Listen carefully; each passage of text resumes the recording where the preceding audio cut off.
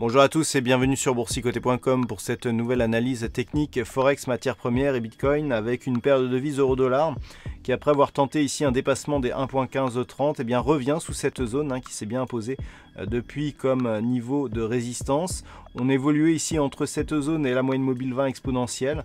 Celle-ci a elle aussi cédé et les cours se dirigent désormais vers un possible retour ici sur la zone des 1.1430. Nous avions une zone majeure ici à surveiller hein, qui se situait aux alentours des 1.1480.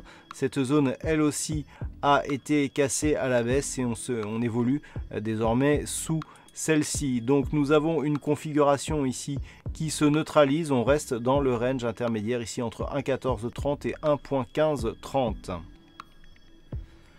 Concernant le métal jaune, nous avions eu deux tests ici de la zone des 1297 dollars l'once. Je vous avais indiqué qu'il ne faudrait pas dépasser ici cette zone des 1280 sous peine d'avoir des configurations techniques qui ressemblaient à des doubles bottoms. Eh bien, il semblerait que nous soyons plutôt sur une évolution plutôt haussière puisque après avoir euh, eu un mouvement ici d'affaiblissement qui malgré tout est resté ici au-delà des 1286,50 dollars l'once. On reste ici au contact des 1297, sachant qu'une rupture ici de cette zone horizontale eh pourrait valider une poursuite du mouvement haussier en direction des prochaines zones de résistance majeure, avec notamment ici en ligne de mire les 1357 dollars l'once.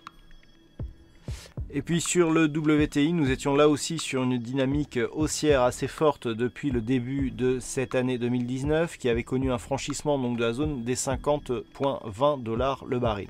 Suite à cela, on était venu tester une manière assez agressive ici la zone de résistance des 52.80 mais euh, lié à la précédente configuration technique, nous avions anticipé ici une phase de temporisation entre ces deux zones horizontales. Et eh bien c'est ce qui semble-t-il est en train de se produire puisqu'après donc ce test appuyé des 52.80, les cours se stabilisent, on casse la moyenne mobile 20 exponentielle, on est presque revenu chercher ici le niveau des 50.20 comme support avant une phase de stabilisation.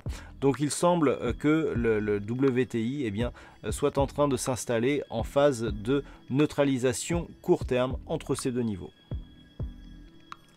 Et puis enfin sur le Bitcoin, suite à la forte baisse ici qui avait été constatée en fin d'année dernière, nous assistions à une petite phase de stabilisation mais dont nous avions défini ici une résistance oblique baissière qui donnait une priorité plutôt baissière donc dans la continuité malgré cette phase de stabilisation au-dessus des 3585 dollars. Le problème c'est que ce niveau a été cassé ici et même si on revient ici au-dessus euh, de celui-ci, et eh bien c'est désormais la résistance oblique qui définit la tendance de fond et donc nous sommes toujours dans une phase de baisse. Donc tant que les cours ici ne, recassent pas d'une manière significative cette zone hein, qui, euh, évolue actuellement entre 4000 et 4100 dollars, eh bien nous avons une perspective baissière avec un objectif à terme de retour sur la zone des 3290 dollars pour un Bitcoin.